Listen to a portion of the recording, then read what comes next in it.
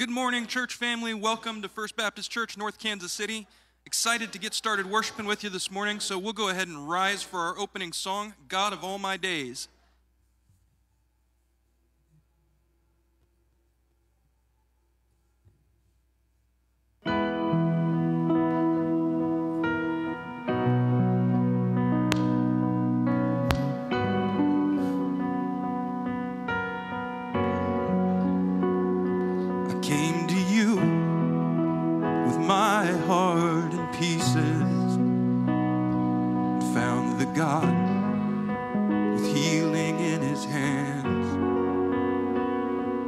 turn to you, put everything behind me, and found the God who makes all things new. I look to you.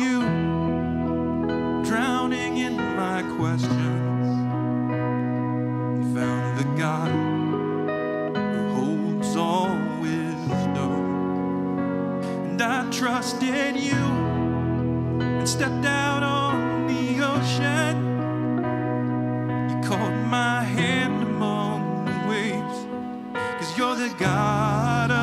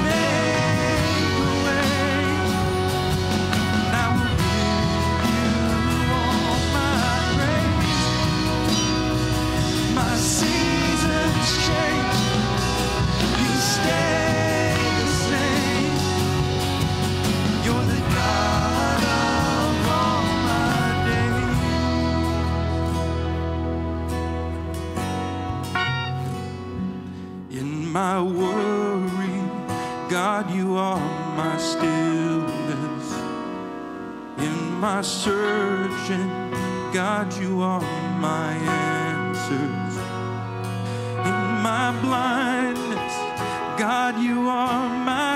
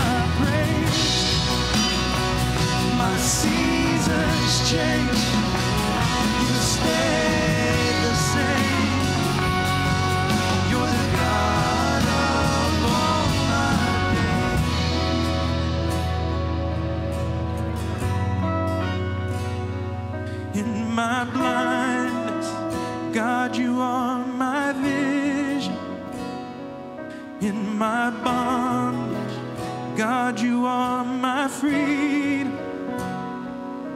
my days.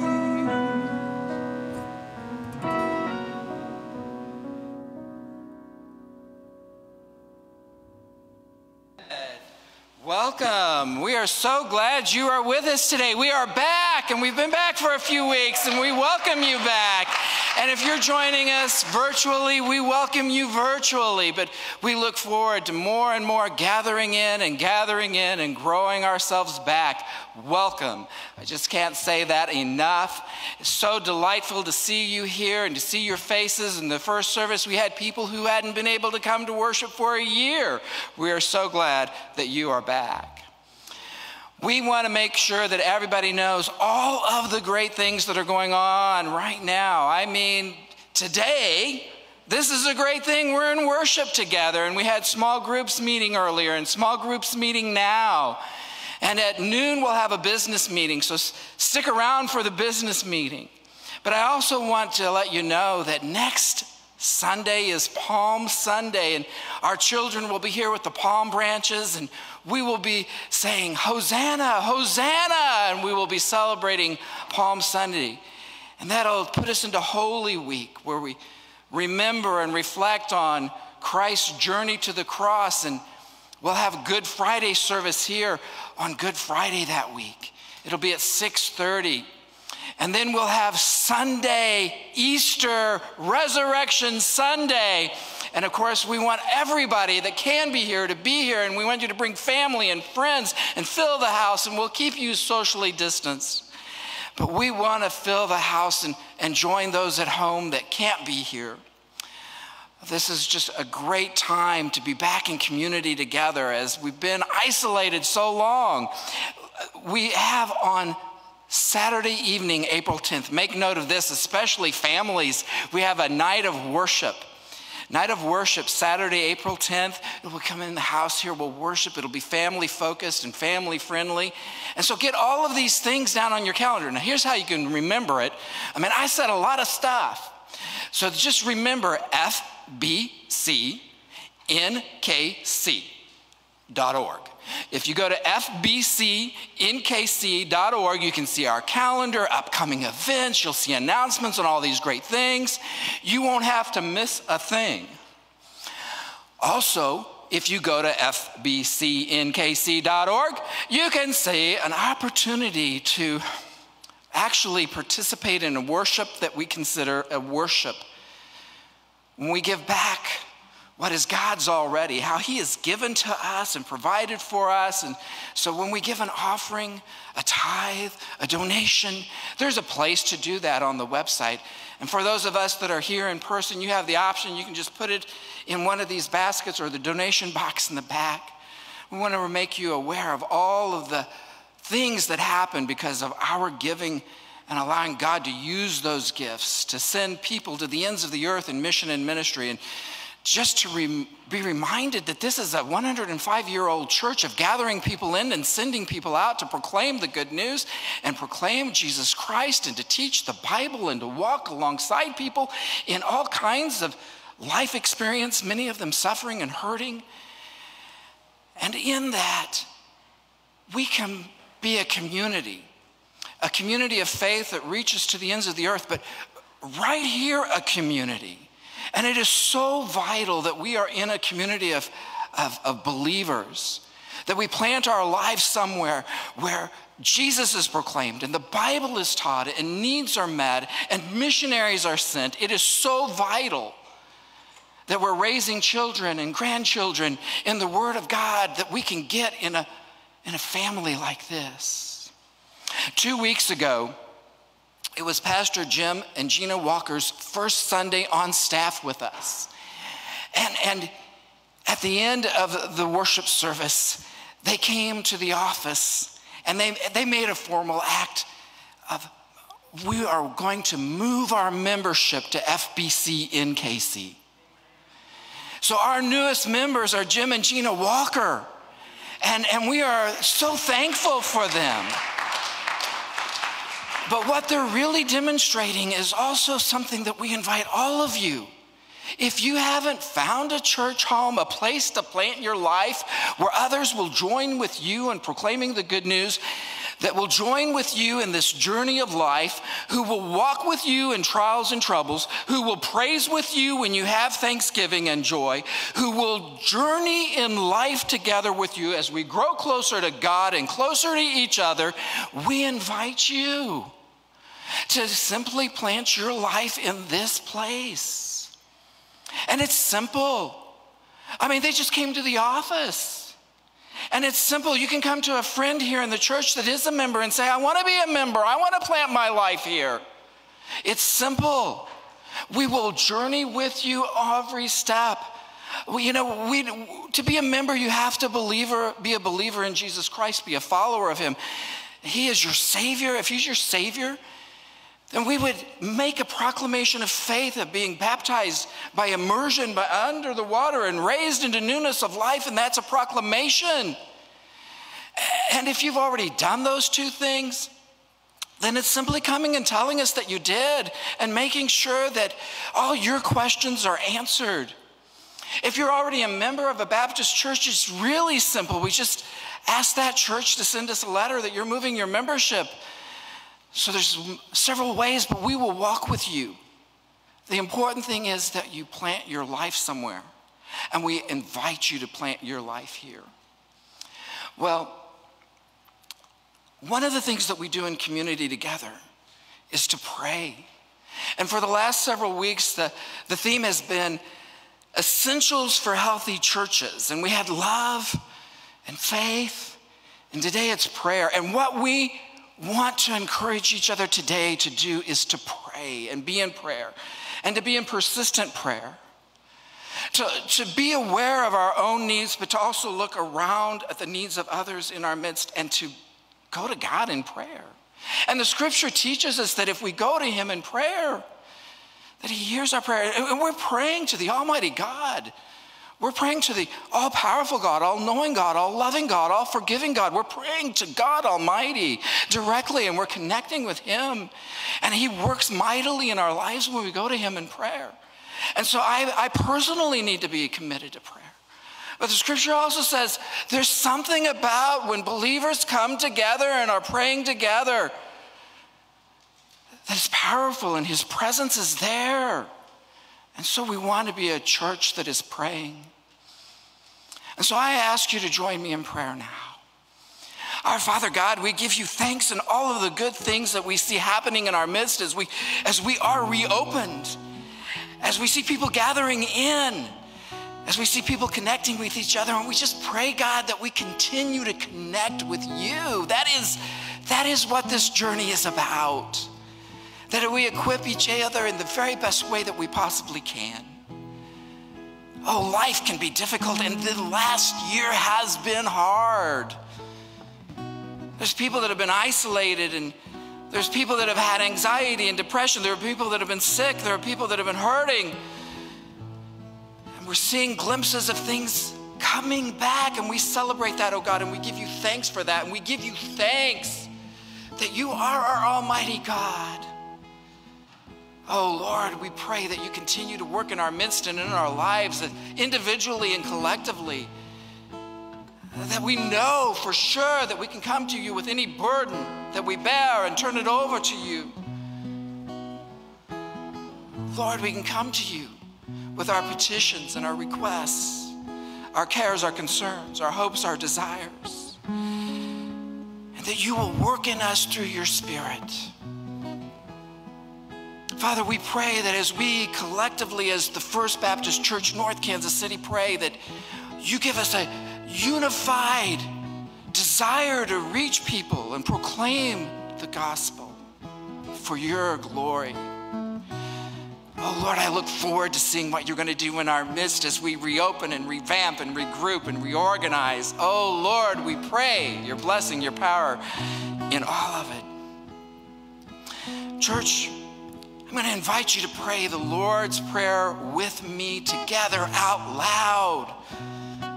Let's use the trespasses version. Our Father, who art in heaven, hallowed be thy name. Thy kingdom come, thy will be done on earth as it is in heaven. Give us this day our daily bread and forgive us our trespasses as we forgive those who trespass against us Lead us not into temptation, but deliver us from evil. And of course, let's add, for thine be the kingdom and the power and the glory forever. Amen and amen. And welcome to worship with us today.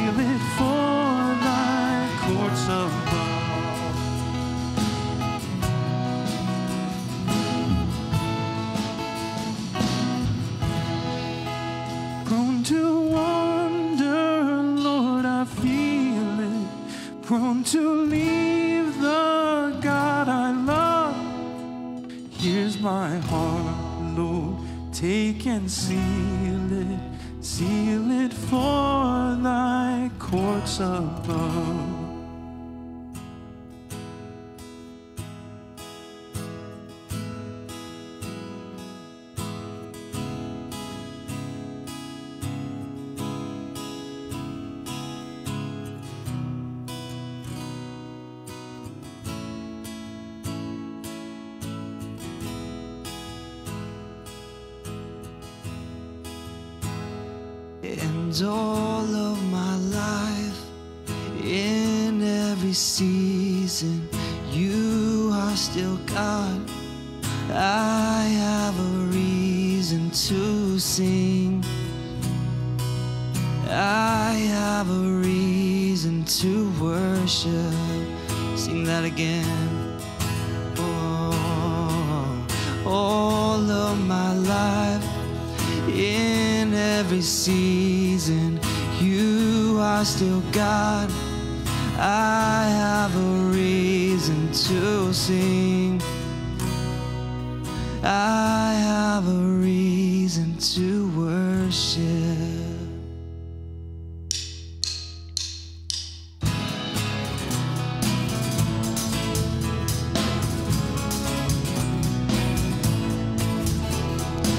This is my prayer in the desert when all that's within me feels dry.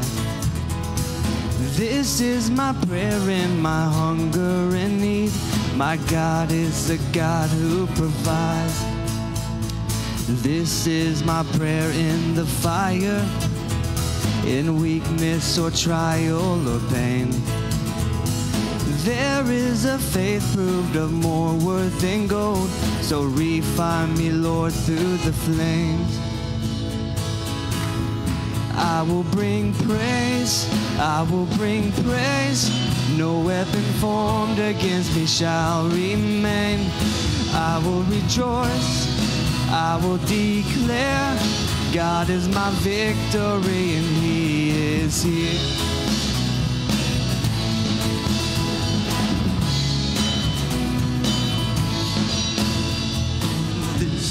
My prayer in the battle when triumph is still on its way.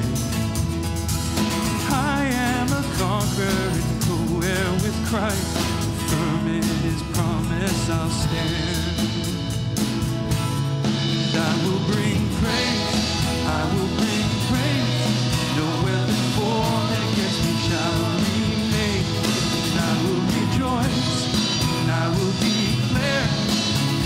my victory. Is here.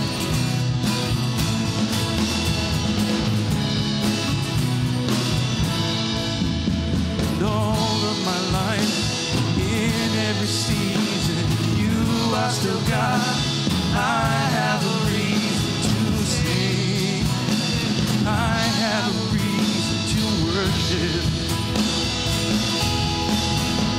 All of my life, in every season, you are still God. I have a reason to sing. I have a reason to worship.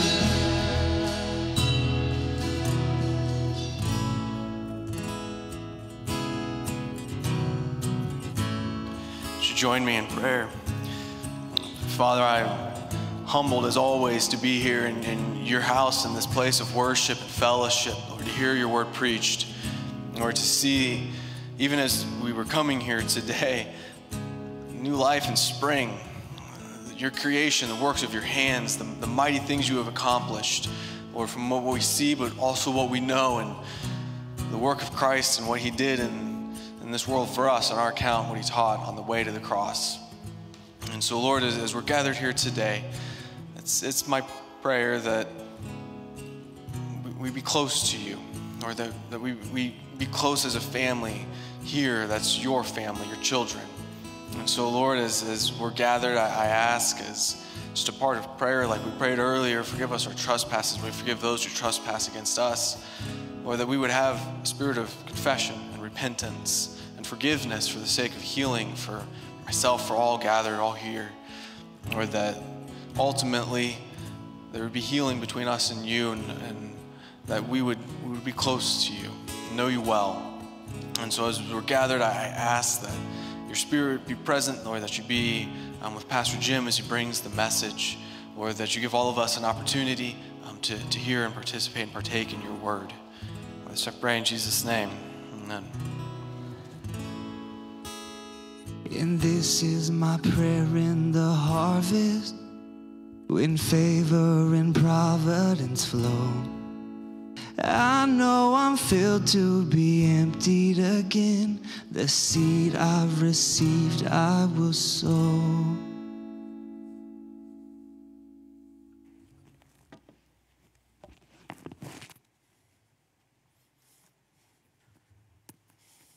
Well, good morning. Yeah, thank you guys for the worship today. Um, please take your Bibles and turn to uh, Luke chapter 18. We're going to uh, look at some scripture there in just a minute. And I uh, just want to say it's so good to see everybody uh, this morning. And uh, please help me out as uh, we meet in the hallways and stuff. Uh, give me a name and um, I'll see if I can remember it. Um, but getting to know some of you, and that's been awesome. Uh, we're in a message series basically as we kind of start time together with the new pastor and, and, and church family. Uh, essentials of a healthy church. And we looked at love uh, a couple weeks ago. We looked at faith last week. And, and this week, I want to look at, at prayer and how essential is prayer uh, in, the, in, in a Christian life and in the life of our church. And I think Jesus put it really well in John chapter 15, verse 5. And if you think of prayer as being us talking to God and then God conversing with us through his word and in our spirit, um, here's what Jesus said He said, uh, I am the vine, you are the branches. Whoever abides in me and I in him, he it is that bears much fruit. For apart from, well, can you read the last part with me? For apart from me, you can do nothing. Man, and I thought about that and I thought, uh, how, how many times um, that um, we uh, generate activity and, and we gather up resources and, and then we, um, we utilize those things as church families. How many times do we do that in ways that basically amounts to nothing because we've we, we haven't uh, truly abided in Christ with, with why we are doing what we're doing? And so um, in, the, in the book of Acts, I, I, think it shows us a great example. For a matter of fact, some incredible things happen there. And, and the, the book of Acts was just kind of the, uh, the history of the early church as it got started in the first century. Starts out with just a small group of about 120 believers in Jesus Christ. And, and, and, um, and, and yet, what we see in the book of Acts, uh, because of their devotion to prayer, they're constantly seeing lives transformed and this movement uh, uh, of, an, of a work of God in their world. And, and so I just want to go back over a little bit of that. In Acts chapter 1, verse 8, Jesus tells his followers or his disciples, um, You'll receive power when the Holy Spirit comes up on you. And, and so basically, um, as they're as they're waiting for the spirit to come on them it says in acts chapter 1 verse 14 all these these 120 they were in one accord and they were devoting themselves to prayer and so they're devoting themselves to prayer for, for 10 days. And then comes the day of Pentecost. And on the day of Pentecost is when the Holy Spirit came upon them, just as Jesus said it would happen. And then, and then Peter, he preaches a message, and 3,000 people come to faith in Jesus Christ. And somebody once said, you know, we pray for 10 minutes and then we preach for 10 days and maybe somebody comes to faith in Christ. But they prayed for 10 days, Peter preached for 10 minutes, and 3,000 people came to faith in Jesus Christ. And so, what did those 3,000 people do who had come to faith in Jesus Christ? And we read about that in Acts chapter 2, verse 42. And, and it says, They devoted themselves to the apostles' teaching and to the fellowship and to the breaking of bread and to prayer. And so that's the second time we hear that these, this was a fellowship devoted to prayer. And then if you read the next few verses, it says, man, there was wonder and there was awe among the people as they saw the transforming power of God. And those who had were selling some things and they were giving to those who didn't have so that they could, so that they could be blessing them and, and that they were all having their needs met. And then we get down to verse 47 and it says, and the Lord added to their number day by day those who were being saved. And then you get to Acts chapter 3. And Peter and John Uh, are ministering to a cripple man at the temple, and he gets healed. And they say, Well, it's in the name of Jesus who raised from the dead. But the religious leaders didn't like that because they had crucified Jesus, and they didn't like their teaching that he was raised from the dead. So they threatened them and told them not to talk about Jesus anymore. And then we read this in Acts 4:13. And when they saw the boldness of Peter and John and perceived that they were uneducated common men, they were astonished and they recognized that they had been with Jesus. Jesus. And so then the religious leaders threaten them some more and tell them, Don't let your people talk about Jesus. But they began to pray not only for protection, but for boldness. And we read in Acts 4:31, and when they had prayed, the place where they were gathered together was shaken, and they were filled with the Holy Spirit and continued to speak the word of God with boldness. So then you get to Acts chapter 5. And again, the apostles are doing wonders and signs and they're seeing lives transformed by Jesus. And then you get to chapter 6, and there were so many people in the church that there were needs everywhere, and the apostles couldn't meet all the needs. So they get some others to help them in the serving ministry of the church. And that's kind of the, the prelude to deacons in the church who are serving the needs of the church. And they said they wanted that to happen so that in verse 4 it says, We will devote ourselves to prayer. And there it is again. And to the ministry of the word. But that devotion to prayer just keeps popping up in the book of Acts. And then here's the result of that in Acts chapter 6, verse 7. It says, The word of God continued to increase, and the number of disciples multiplied greatly in Jerusalem. And that same theme continues as you go through the book of Acts that there were people in the early church and they were devoted to prayer. They were devoted to prayer. And as they're devoted to prayer, uh, they're seeing uh, lives transformed and they're seeing this movement of the work of God in their communities and in their world. So today, here's what I want to do I want to encourage us to be a fellowship of prayer. I want to encourage you to be a person of prayer.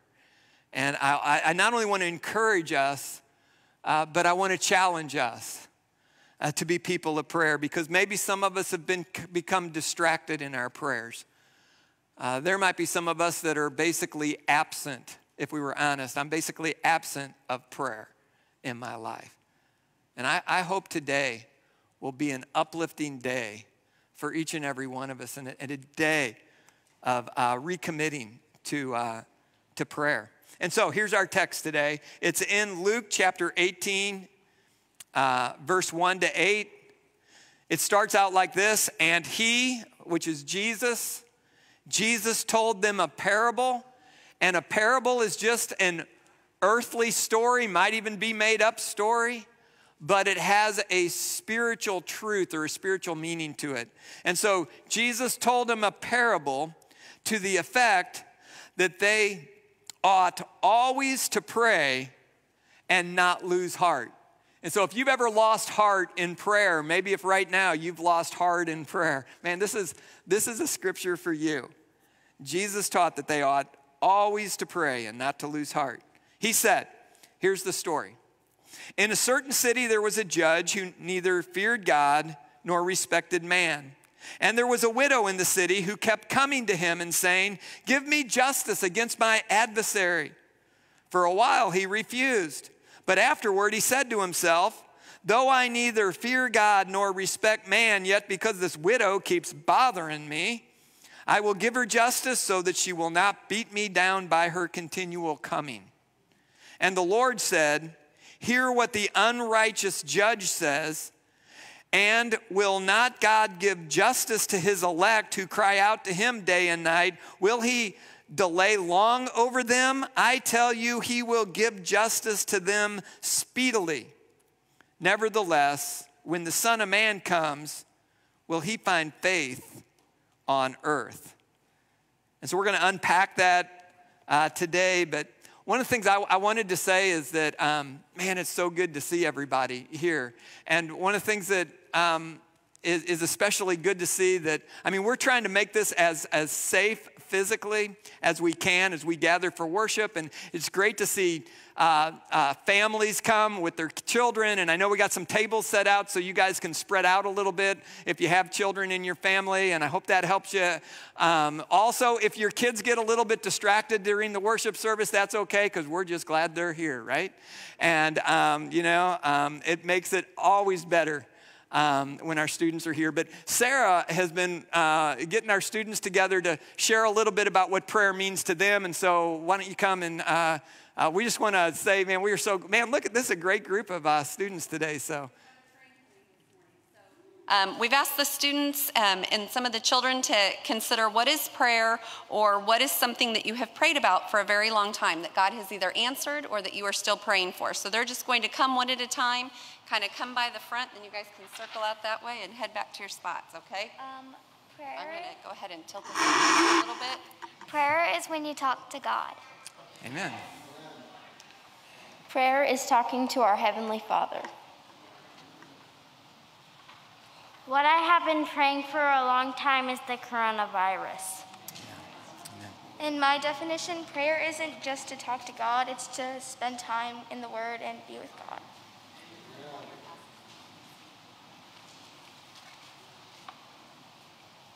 What is something you've prayed for for a very long time? COVID to be over.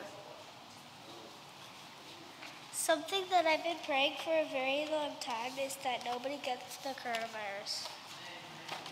Something I've been praying for for a very long time is for better grades. Okay, so I said prayer is a time to talk to God. It is a time to come to Him with your worries and fears and praises. It's also a time to listen to Him. It's a time for Him to give you advice, but also it's a time for you to be still with Him. Amen. Something that I have been praying about for a long time is safety for everyone during the pandemic. Hmm. Prayer is having a conversation with God and getting to build a relationship with Him. Mm-hmm. Prayer is talking to your Heavenly Father. A prayer is something that you want God to know or something you need God's help with. Yeah. Praying is talking to God and spending time with Him. Uh, praying is like a conversation. Yeah. All right. Well, that's good. And man, we're just so glad everybody uh, is here as we go through this. So, Jesus tells this story about prayer, and he told it so that we wouldn't give up on our prayers. And one, of the key themes of today is don't give up on God because he's not going to give up on you. And we find that in this. Uh, there's two characters that Jesus told about here. One is a judge, and it says in verse 2 that he neither feared God nor respected man. And so he didn't see himself as adhering to a higher authority. He really wasn't interested in honoring God's ways, and he didn't care about people. Two, two things that we would want, I would think, in, in a judge. And then there's a widow, and she exemplifies utter desperation.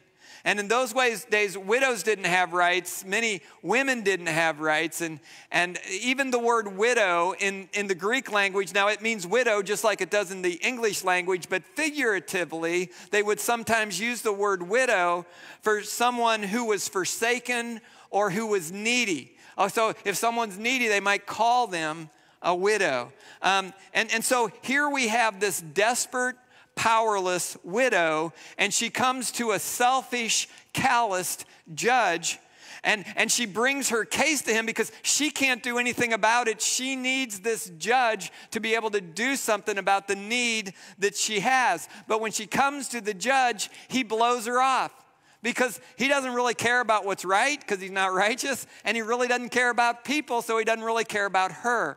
And, and yet she is persistent and she keeps coming to him, and, and she's like with him in the morning when he comes out of the house, and she's there, and, and she's there when he goes to work and when he gets off work, and it's like, hey, won't you do something about my case? And so she persists along the way. And so, so finally, because she keeps persisting, he's like, man, I'm just gonna give her what she wants so she'll leave me alone. And so, so there's this sense in which she got him to do the right thing, even though he was an unrighteous, he wasn't a judge who would normally do what was right.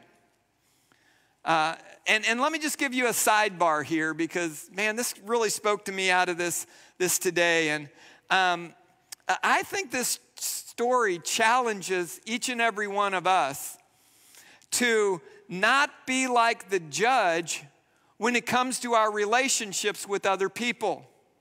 We all have relationships with people.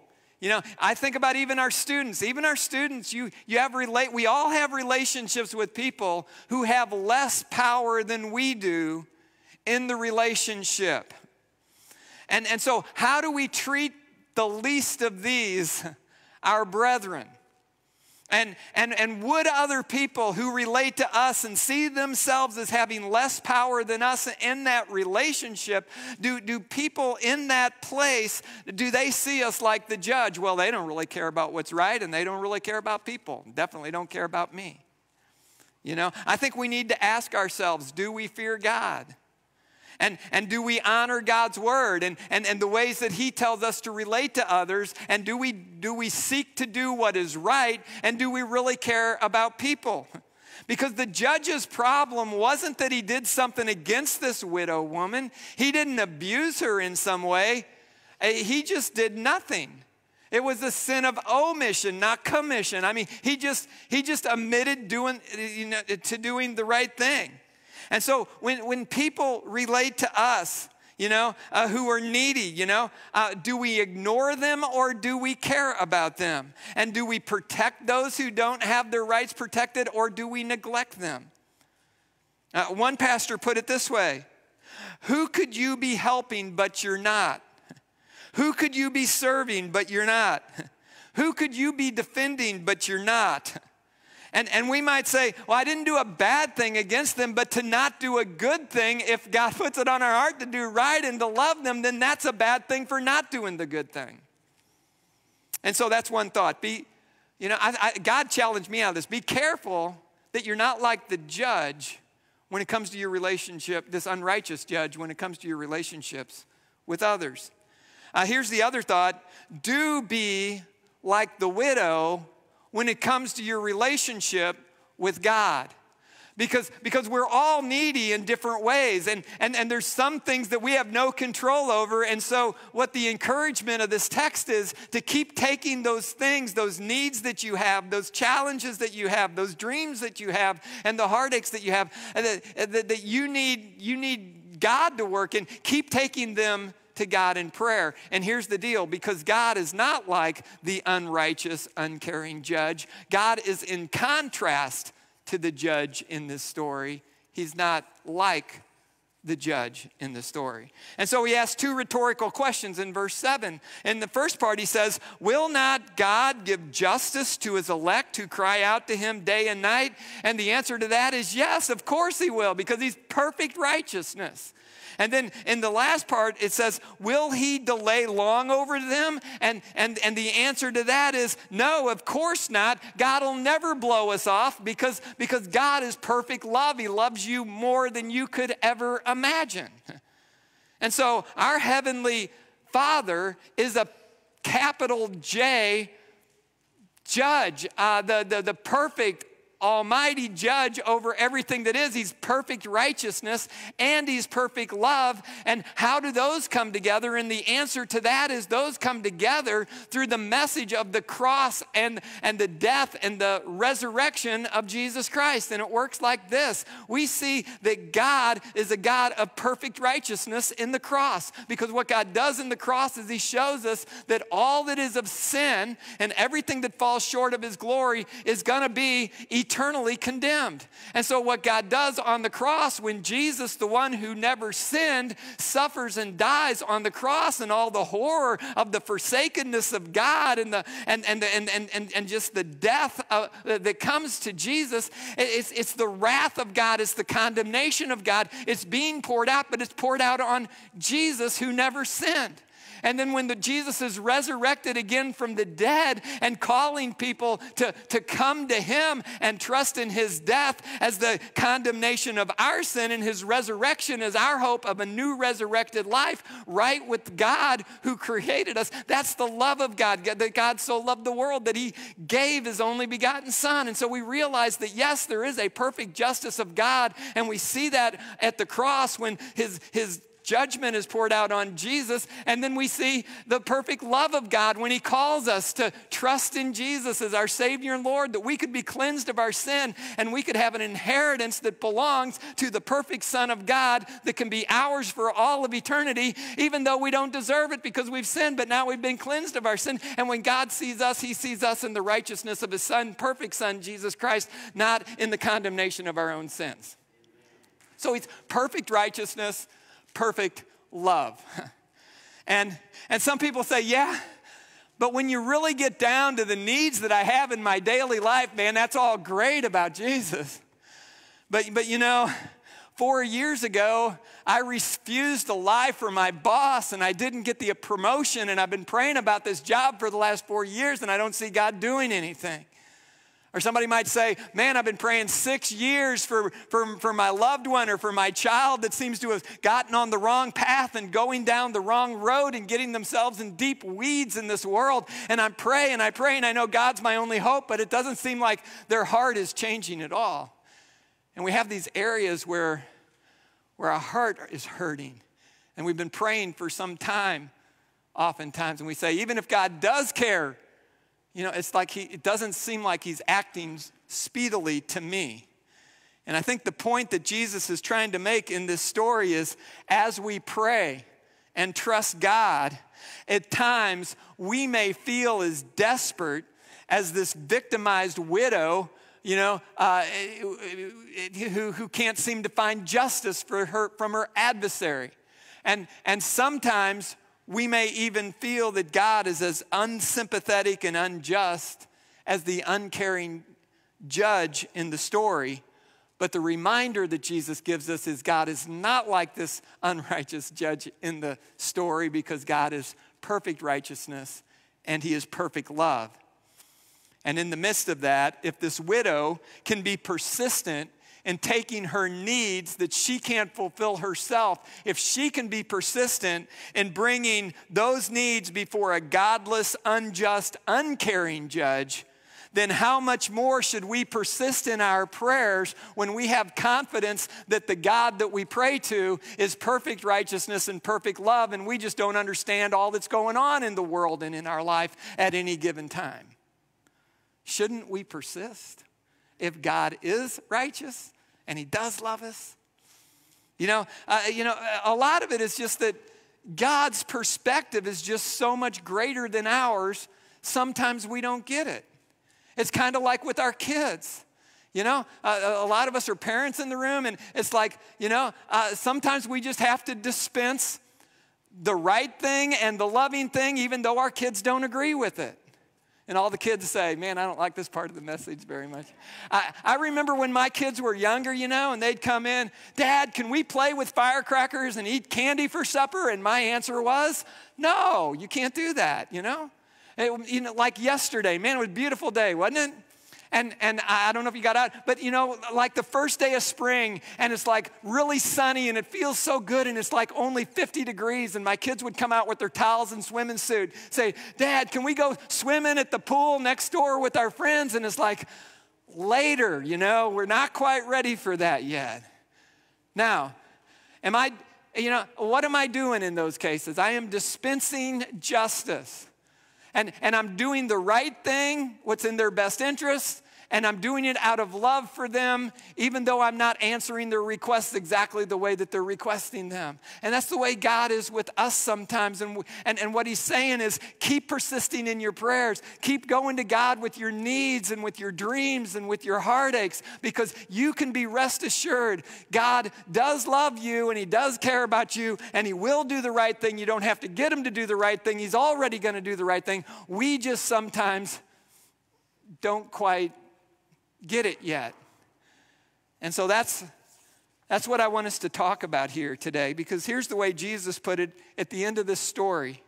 He said in verse 8, Nevertheless, when the Son of Man comes, Will he find faith on earth? Will he find those people who are going to be devoted to prayer and they're going to be faithful in their prayers, trusting that God cares about them and trusting that God's going to do the right thing, even though it's not all working out exactly the way we kind of thought it would, would work out in our minds, and we're waiting on the Lord to work it out? Don't give up on God because you can be rest assured your God is not going to give up on you. Don't give up on him. So, what I want to do is, I, I just want to look at a few reasons uh, uh, to, to persist in our prayers, be faithful in prayer. And so, here they are, okay? Number one. Uh, one, of the, one of the reasons to keep persisting in prayer is because prayer helps us stay connected to God. And basically, prayer is our testimony that I believe that I'm dependent on God for the things that I need. So I'm going to pray about Him because God's going to do right and He loves me already. And I'm just going to put my needs out there before God. You know, uh, what, what happens a lot of times is, is, is we begin to get away from prayer. And when we get away from prayer, we're getting away from God. And if we give up on prayer, and some of us would probably, if we were honest and transparent today, some of us would say, There's been seasons in my life where I did give up on God. I mean, where I did give up on prayer. But when we give up on prayer, we're giving up on God. I mean, where else are we going to get our needs met? And what people a lot of times do is they go to the wrong place to get their needs met. And, and, we go to, you know, and I'm not saying there's not a place for this, but, but you know, I think some people, all that they do is they go to their friends, they, they go to their family, they go to the government, they go to a book uh, or, or whatever else, and there's a place for those things. But this is a great verse Psalms 105, verse 4 Look to the Lord and to his strength, seek his face always. Keep going to God for your help.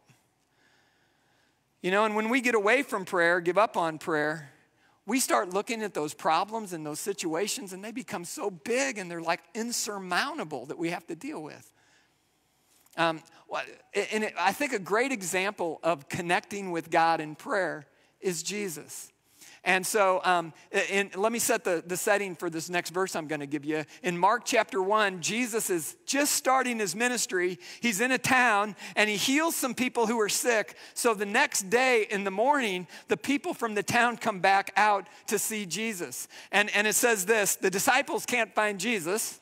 And it says in Mark 1:35, very early in the morning, while it was still dark, Jesus got up, left the house, went off to a solitary place where he prayed. And so the disciples find Jesus praying and they say, "Hey Jesus, all these people are over here waiting on you." And you know what Jesus said? He said, "We're not going over there today. We're going over here today." He said, This is the way God's leading us, and we need to go tell these people the good news. Uh, you know, and so Jesus had that just that connection with God the Father through prayer. It says in Luke 5 16, Jesus often withdrew to lonely places and prayed. There were times he prayed all night, like right before, excuse me, right before he uh, uh, got, the, the, got the disciple, selected the disciples. He spent the night in prayer. Um, in Luke chapter 11, verse 1, it says that Jesus was praying one day, and the disciples came to him and said, Lord, teach us to pray. and that's when uh, Jesus gave them the model prayer, and we prayed it earlier Our Father who art in heaven. hey, Anthony, man, can you get me a bottle of water, dude? Thank you. uh, by the way, this is normal for me. Um, anybody got allergies? Yeah, man, that's me. And so sorry about that. I'll try to keep my voice going. you didn't know you had a pastor who couldn't talk, um, but um, I'll try to. Um, so, so when Jesus gave us that model prayer, he didn't just give us phrases to say. Um, what, what he gave us was, was, was a, a model to be able to really connect with God as we go to him. Thank you. Thanks.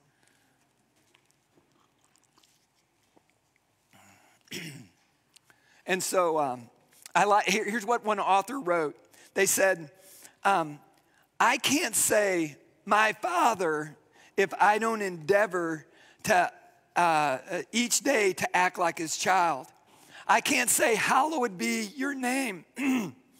if I'm uh, playing around with sin in my life. I can't say, Give us this day our daily bread. Boy, I'm sorry.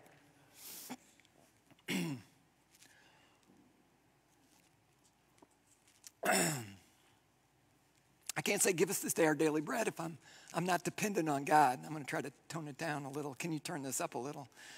Um, I can't say, Forgive me my debts if I'm harboring unforgiveness in my own heart. I can't say, lead us not into lead me not into temptation if I'm putting myself in the path of temptation. Persistent praying.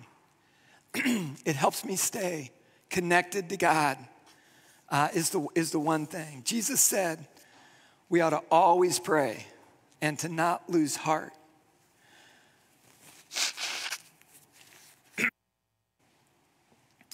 so, Persistent praying It helps us stay connected to God. Here's number two persistent praying helps us gain perspective from God.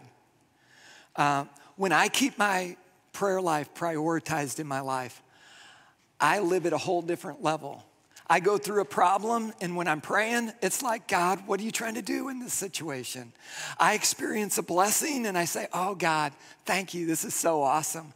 When, my, when I'm not prioritizing prayer in my life, I go through a problem and I say, Oh, man, this is terrible. I hate it, and I'll get frustrated about it. And I'll experience the blessings of God and I won't even recognize that, that God, thank you, man. Yeah, I'm needy. Uh, they did call me Captain Needy at my last church sometimes. Um, so, um, and so persistent praying, man, just helps me get God's perspective on things. and a lot of times that happens when God's not answering our prayers the way that we're praying them. Because now we have to review, re- review things. And, and it works like this. It would work like this. Um, we pray, God, lead me to a new job, and a new job doesn't come.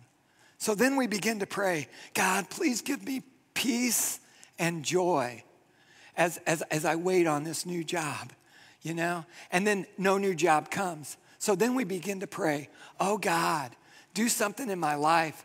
Help me to bring you glory as I wait on a new job. Help me to be your person at the workplace, no matter where I am. And what he does is he changes our heart, gives us a new perspective. So, number one, persistent praying helps us stay connected to God. And then it also strengthens us uh, to be able to get the perspective of God.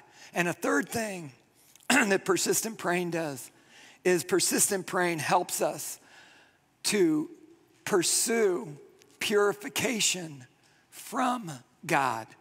When are we going to get slow enough to really let God search our heart and make sure that we're right with Him if we're never praying to Him? Uh, you know, and so many people were living in such a fast paced life. And if we leave prayer out totally, we're going to get all junked up in our relationship with God.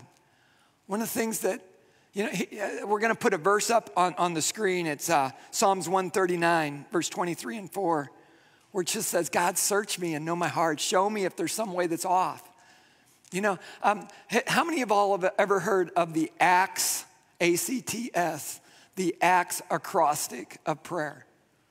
Okay, yeah, a few of us. Um, I wish I would have put it up on the screen. but I didn't. And um, I do this all the time. For a matter of fact, I journal a lot. And like in my office, I got a whole box of all my journals. I don't ever go back and read them. I don't know why. It's just like I don't want to throw them away. Um, but I got these journals of prayers, a whole box full of them, and page after page. And, and I do this ACTS acrostic, and it works like this the A stands for adoration, which would be praising God for who He is. And then the C would stand for confession. Um, and then confessing sins before God. And then, the, and then the T would be thanksgiving, thanking God for his blessings. And then the S would be supplication, which is just taking my needs and putting them before God. And I pray these over and over, I mean, like every day. And, and, and when I get to the confession part, that's been probably the part that has ignited my spiritual life more than any, any, anything else. And, and it works like this I'll be, I'll be praying and I'll say, Oh, God, you know, as I think about it, I confess that yesterday, I, you know, I raised my voice to Gina, okay? And then I'll write a follow up. Uh, God, uh, I need your forgiveness for yelling at my wife. And it's humbling when you write something like that. And, and, and, and, and you know, that, that begins to cleanse our soul and, and, and it brings us the refreshing of, of, of, God in our life. It says in Psalms chapter 66, verse 18, if I regard wickedness in my heart, the Lord will not hear. And, and so sometimes it's just the fact that we, we have unconfessed sins in our life that hinders our prayer life with God. And as we can commit to persistent praying, it helps, it helps us recognize these things. Um, one, other, one other thing, sometimes broken relationships with other people can hinder our prayers. This is a, a great verse, Matthew chapter 5, verse 23. It says, Therefore, if you're presenting your offering at the altar and there you remember your brother has something against you, leave your offering there before the altar and go first be reconciled to your brother and then come present your gift at the altar. You know, and I, I remember one time I was reading this verse in my own quiet time, and I remember remember I was logging in my journal and I read that verse and I said, Oh God, thank you that I'm not sideways with anyone in my life today. And you know what the next thought that God put in my mind was? Well, what about so and so, okay? And then I'm thinking, oh man, that's right. That's, you know, because what it says, if, if they're not, if, if they have something against you, not you have something against them. And I thought about this person. And then, and then it was on a Saturday. And I was thinking about, man, my offering that I want to bring to the Lord next tomorrow on Sunday is to the whole church and the offering of God's word. And I'm not right with this person. And I know they're not right with me. And it's like God said, it's like God said in my spirit, you need to go talk to them. And it's like, I don't want to go talk to them. It's Saturday. Saturday, you know? And, and, and so I did. And, and then things got worked out. And I'm telling you, there was so much stronger refreshing in my life. It's just the way the Lord works. He, you know, as we persist in prayer, He, he works this cleansing that we would become more like His Son, Jesus Christ. And then here's, here's number four persistent praying helps us experience the power of God. You know, uh, uh, over again in the Bible, it teaches us that when we pray, God may work in our lives in ways that He would not otherwise work. And then when we don't pray in our lives, we, we may not experience God's work in certain ways in our life. And, and, and you know, it, it is a shame when we get satisfied in our lives for only what we can do and we forget to go to God for what only He can do. I don't know about you, but I want the adventure of joining God in things in this world that only God can do. I want to be part of a church that's not just known for what is humanly possible. Uh, you know, and, and, and I, I want to be part of a church through whom God displays his glory of, of the transformation that only he can do. I know that God can do whatever God wants to do, regardless of my own prayers.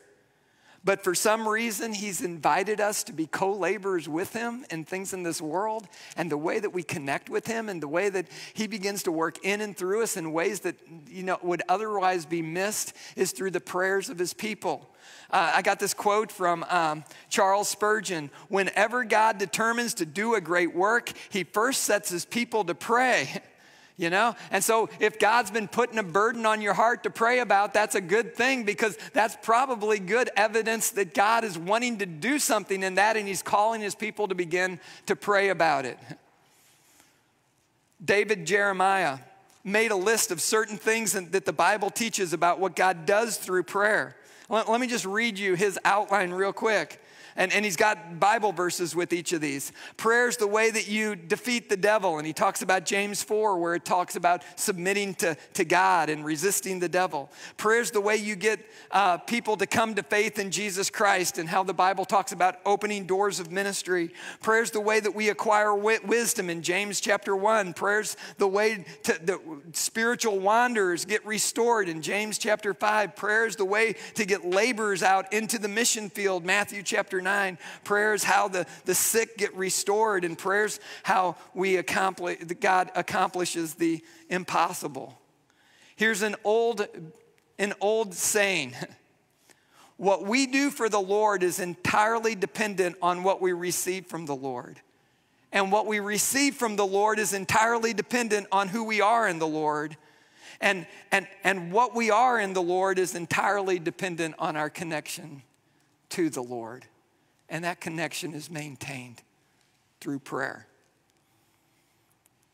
You know, no wonder Jesus spent the night before he selected the disciples in prayer. No wonder he spent the night before he went to the cross in the Garden of Gethsemane praying. No wonder the early church devoted themselves to prayer because they needed supernatural courage and they were watching the transforming power of God at work in the lives of those among them and they knew that it wasn't a power that came from themselves. And we need that same devotion of prayer. I thought of all the essentials of a healthy church. Man, we need love, we need faith, and we need prayer. And you all have a new pastor here at First Baptist Church. And I'm telling you that the burden of my heart is that we would be people redevoted and rededicated to prayer, praying for ourselves, praying for our church, our families, our community, and our world. Will you bow with me? And maybe you're here today and you're thinking, I'm not even sure where I'm at in my relationship with God. And you're telling me to pray about every detail in my life. I just want to remind you today, as we just spend a minute looking within, that the place to get started in a relationship with the God who created you, who loves you, and has provided an eternal salvation through the death, burial, and resurrection of his Son, the place to get started is with prayer. To just call out to him. Our children told us prayer's talking to God. It's just saying, God, I need you. I need you to work in my life. We might not understand it all, but we can still call out to God and say, God, help me to know you more. And I, I, I just want your work in my life. Thank you for Jesus. You know, some of us have specific needs in our, in our lives today, and I, I just want to encourage you don't give up on prayer. Don't give up on God because He's not going to give up on you. You know, if your marriage needs help, keep praying. If you, if you can't find the right job, keep praying. If you're facing a serious illness or one of your loved ones is, I want to encourage you today keep praying. God's not like an unrighteous judge. He, he's perfect righteousness. He's going to do right. And He already loves you and, and cares about you. He's proved it on the cross. If your heart's broken over your children or a loved one, or you're overwhelmed about a situation, or your finances are in a mess, keep praying. Keep praying. You know, if you're a, a, young parent and you got diapers all over the house and, and you don't know what to do, or, or if you just need God to work in your life and settle your soul and you need His peace and His calm in your spirit, maybe there's a situation that's way beyond your control that you need to give over to God today. My encouragement is keep praying. God will do right. He loves you more than you can know. Father, we thank you for your word today. Thank you for the reminder that you are perfect righteousness and you are perfect love. And God, I pray that we would be among those that Jesus would find faithful to pray, faithful, believing, God, in who you are and your love for us, even when things in this world aren't going the direction that we think they ought to go. May we be people who just persist in prayer as a testimony of our faith, our dependence on you. And God, thank you for the way that you work. I pray that we would have the hearts of people that would give you praise and give you honor, for you've already worked in so many ways that if you never did another good thing, we've already been blessed so far beyond what we could even ask or imagine because you're so great. God, I pray for all of us today that we would rededicate our lives to pray for this one church family, that we would shine, light, shine bright the light of Jesus Christ, first of all in this community, and then among our neighbors and friends and family, and to the ends of the earth. And I pray this in Christ's name. Amen.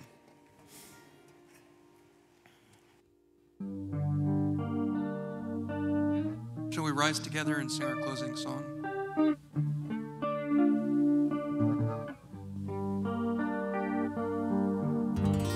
More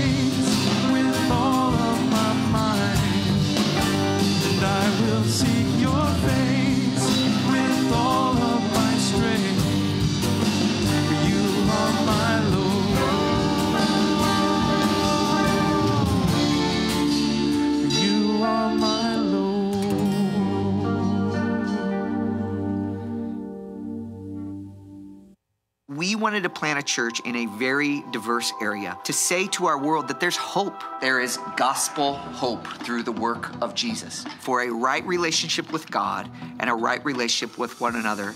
And we feel like the east side of Atlanta just beautifully represent that. One of my deepest prayers was that the Lord would lead a brother to lead this plant with me. And God, in His grace, answered that prayer way beyond my expectation by allowing me to meet Rod. And just as we began to get to know one another, we came to the conviction that we think we can do this better together than we can apart.